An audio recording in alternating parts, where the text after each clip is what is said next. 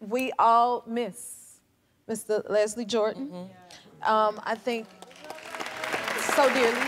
He's a friend of Warner Brothers.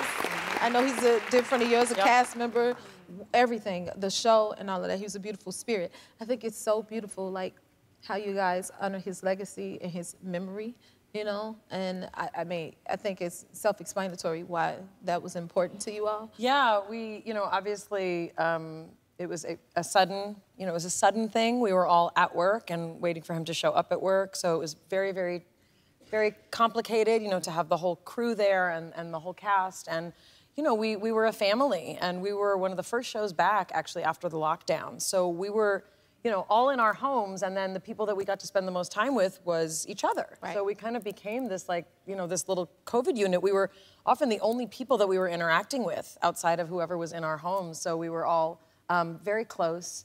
And, um, you know, people knew Leslie Jordan as Leslie Jordan, not necessarily just as the character that he played on our show. You know, he's been in people's lives and especially during during COVID, he was in people's Instagram feeds and he a lot of people really kind of formed a real connection with him and he loved that. He loved being approachable. He loved being loved.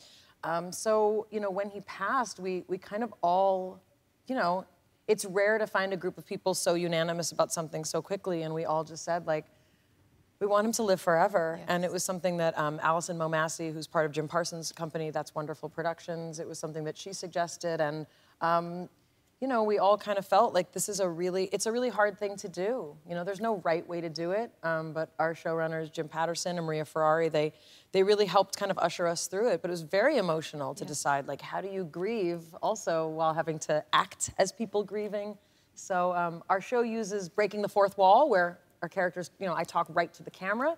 And I think that kind of helped us have a little grace about it, that we knew we could really talk right to people and say, like, there's no way to make this what it's not. You know, we lost our friend. Um, and, you know, I think this whole season for us feels like it's the season that, that we lost Leslie. So, um, yeah, it's um, it's really it's been hard, and um, and we're we're grateful to have gotten the opportunity to to work with him um, the way we did, and in the time of his life that we got to work with him. So He was a beautiful soul. he was a very special Yes.